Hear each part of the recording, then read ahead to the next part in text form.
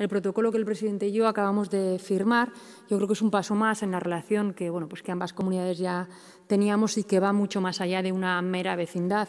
Somos comunidades vecinas, es verdad, pero además nos unen lazos incluso familias compartidas en, las dos comunidades, también lazos sociales, lazos eh, económicos y la verdad que esto siempre acerca. Como ha dicho el presidente, ya en el año 2009 hubo un primer eh, protocolo de colaboración y desde entonces pues nuestros lazos se han ido estrechando y yo creo que tiene que ser así, ¿no? porque también la ciudadanía percibe que esas colaboraciones entre las distintas administraciones redunden en el beneficio y en esos servicios públicos que les tenemos que dar a la, a la ciudadanía.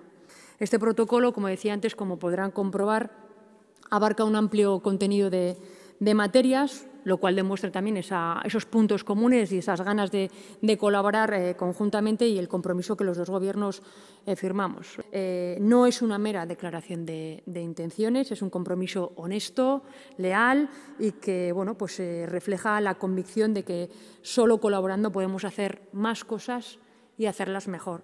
Somos Navarra y Aragón dos comunidades políticas milenarias.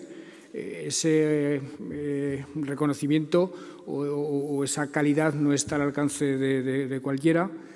dos comunidades políticas milenarias y vecinas que, por tanto, llevamos siglos compartiendo historia y compartiendo problemas y soluciones parecidas porque nuestras realidades, en cierto modo, geográficas, eh, también eh, sociológicas y culturales, han sido eh, muy similares. Gobierno de Navarra. Nafarroako gobernua.